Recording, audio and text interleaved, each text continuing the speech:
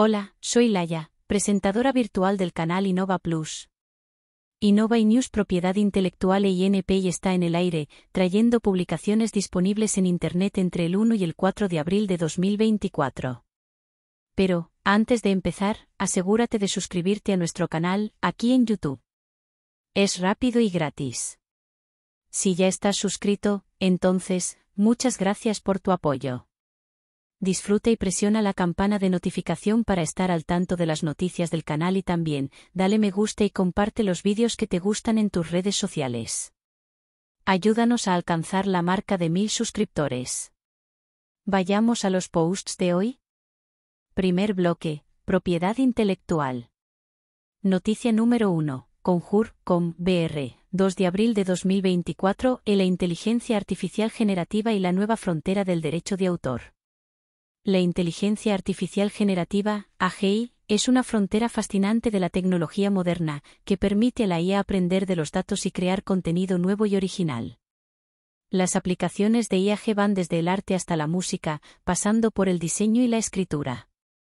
Sin embargo, el auge de IAG presenta desafíos únicos para el campo de los derechos de propiedad intelectual.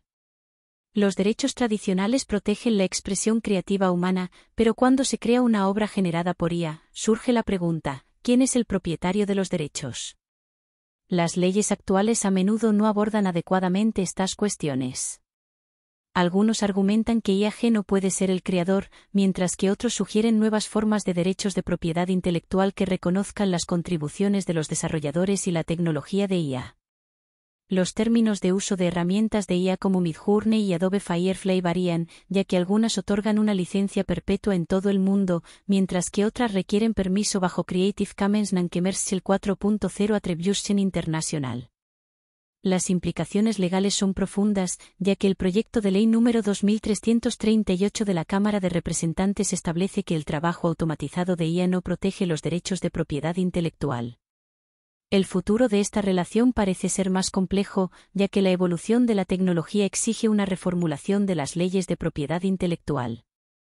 Noticia número 2. Conjur, com, BR, 3 de abril de 2024, en lo que indica para Brasil la nueva ley europea que regula el uso de la IA. El Parlamento Europeo ha aprobado un conjunto de medidas para regular el uso de la inteligencia artificial IA en la Unión Europea. La ley de IA, un conjunto de normas basadas en el análisis de riesgos, clasifica los sistemas de IA como riesgos altos o bajos, limitados o mínimos. Esto está en línea con el texto de la PL 2.338 diagonal 2023 plantilla del Congreso Nacional, que tiene como objetivo regular el uso de la IA en Brasil. La legislación tiene por objeto garantizar la transparencia y los derechos de los ciudadanos, promover la innovación sostenible y alinearse con la ley de IA de la UE. La legislación también incluye requisitos mínimos para los sistemas considerados de alto riesgo, así como la ley de IA de la UE, que prohíbe a la IA manipular comportamientos humanos que causen riesgos. La regulación requiere que las empresas desarrollen principios claros de gobernanza y participen en programas que garanticen la protección de los principios legales. Se espera que la legislación se apruebe en el primer semestre de 2023. Noticia número 3. Capital Aberto. 4 de abril de 2024, e-tokenización, el siguiente paso en la modernización del campo.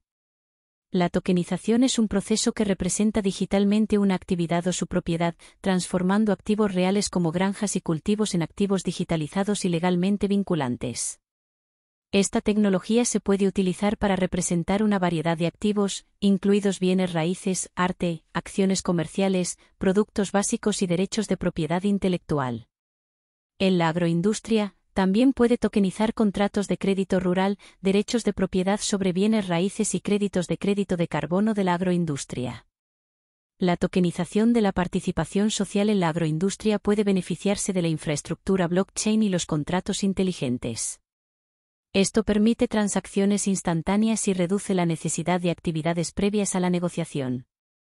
El proceso de tokenización también permite la transferencia de una parte de las actividades del mercado tradicional a entidades tokenizadas. Las ofertas tokenizadas pueden cambiar y renunciar a los registros en la Comisión de Valores Mobiliarios, CVM, pero no son legalmente vinculantes. En cambio, van acompañados de una promesa de proporcionar servicios desde el exchange tokenizado al titular del token. Esto promete al propietario del token un derecho personal contra el intercambio, pero no un derecho real sobre el valor del token. La tokenización puede tener un impacto positivo en el agronegocio brasileño al modernizar los procesos de financiamiento, incluida la tokenización de cuentas por cobrar y materias primas, así como la participación social. Noticia número 4. InfoMoney. 4 de abril de 2024, la ex empresa ABA compra el catálogo de la banda Kiss por unos 300 millones de dólares. Los exmiembros de ABBA, Popose, han firmado un acuerdo histórico con la icónica banda de rock Kiss, adquiriendo su catálogo musical, marca y derechos de propiedad intelectual. El acuerdo, cuyo valor se estima en más de 300 millones de dólares, incluye todos los derechos de masterización y publicación. Popose, cofundada por el exmiembro de ABBA Hornulbaeus, ha invertido en el desarrollo de actividades de marcas de música y entretenimiento, como el innovador espectáculo ABBA Voyage en Londres. Utilizando la tecnología de efectos especiales creada por Industrial Light y Magic de George Lucas, los fanáticos pueden ver un concierto completo de la banda en su época a través de avatares digitales. Como parte de la asociación, Popou se planea crear versiones digitales de Kiss que permitirán a la banda y a su gente única vivir para siempre. El proyecto ya se esperaba en el último show de Kiss en el Madison Square Garden de Nueva York el 2 de diciembre de 2023. Popou se planea lanzar el programa de avatares en 2027, que contará con una película biográfica y una experiencia temática de Kiss. La asociación supone la segunda inversión de Popou-se fuera de España, tras adquirir el catálogo musical de Cindy Lauper. Kiss ha vendido más de 100 millones de discos en todo el mundo a lo largo de sus 50 años de carrera. Segundo bloque, INPI. Noticia número 5. Espansao, 1 de abril de 2024, el sello de indicación geográfica puede impulsar el negocio. El sello de indicación geográfica IG, otorgado por el Instituto Nacional de Patentes y Marcas y NPI, y es un sello oficial para productos o servicios que se caracterizan por su origen local debido a los métodos de producción, los recursos naturales, la autenticidad y la exclusividad. Brasil cuenta actualmente con 122 indicaciones geográficas, la última de ellas en Codajás, Amazonas, para la producción de acai. Obtener el sello también puede agregar valor al producto, impulsando más negocios.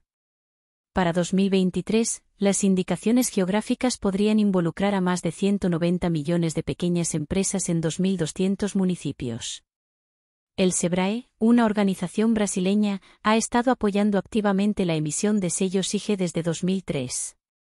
El reconocimiento de un producto puede aumentar su valor en aproximadamente un 27%. Las indicaciones geográficas también estimulan el turismo fomentando las inversiones en hostelería, gastronomía, tiendas de recuerdos, transporte, instituciones financieras y otros negocios. El sello IG también puede servir como estrategia de marketing, ya que Rogerio Ruschel, profesor y consultor, confirmó su presencia en el programa Coneca Outro do Brasil. El sello IG también garantiza más credibilidad y confianza para los consumidores. Noticia número 6. INPI, 3 de abril de 2024, el primer NPI participa en los diálogos de Exporta Más Brasil.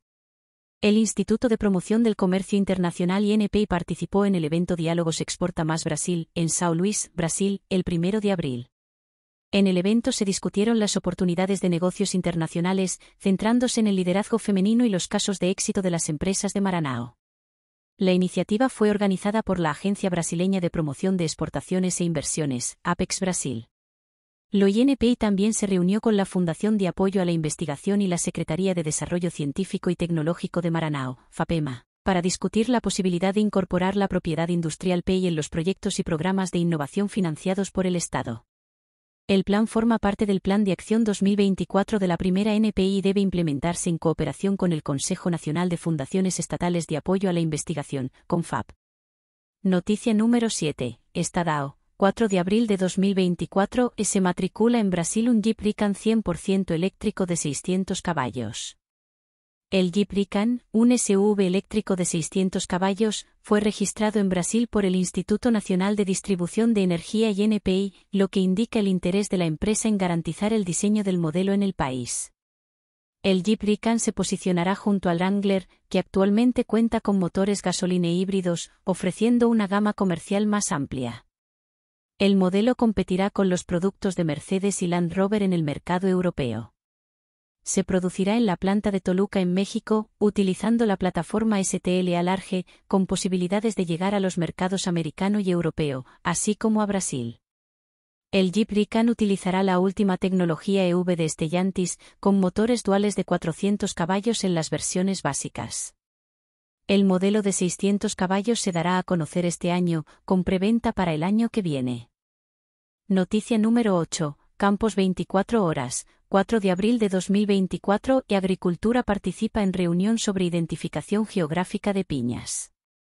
Agricultura participará en una reunión técnica sobre identificación geográfica y G de piña en la región Fluminense Norte el 12 de diciembre, en la Universidad de la región Fluminense Norte. El proyecto, que busca el reconocimiento de la IG de las especies de la denominación de origen por parte del Instituto Nacional de la Producción Industrial INPI, será coordinado por la profesora Yani Méndez Jasmine, del Laboratorio de Ciencia Vegetal del Centro de Ciencias y Tecnologías Agrícolas, LFIT barra diagonal CCTA, de la UNF. El proyecto tiene como objetivo garantizar que las piñas reciban el sello de calidad del primer NPI, similar al caso de las naranjas de la región de Tangua. El proyecto, financiado por la Fundación de Apoyo a la Investigación del Estado de Río de Janeiro, FAPERG, proporcionará a los productores locales mejores precios. Noticia número 9. INPI, 4 de abril de 2024, Instituto muestra resultados en el Congreso. Durante una reunión en la Cámara de Diputados del Congreso Nacional el 3 de abril, el primer NPI presentó los resultados de su informe de gestión 2023 a la base de la industria. En la reunión con el diputado Víctor Lippi, el presidente del OINPI, Julio César Moreira, el director de Administración, Alexandre López Lourenco, y el coordinador de Relaciones Institucionales de EFE, Michele Sedrez, presentaron datos sobre el desempeño de la primera NPI en la concesión de activos y en la difusión de la cultura de la propiedad industrial PI. Además, se debatieron cuestiones presupuestarias y oportunidades de desarrollo para el Brasil basadas en el uso eficaz de la PI.